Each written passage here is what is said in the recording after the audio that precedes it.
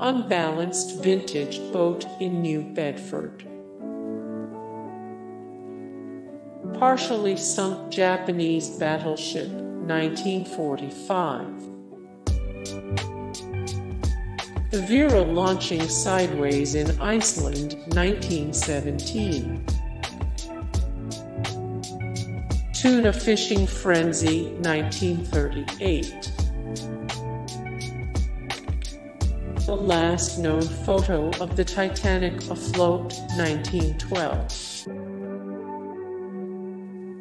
A ship alongside a captured whale, 1900.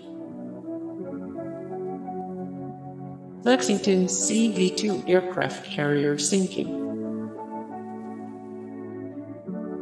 The last lifeboat launched from the Titanic.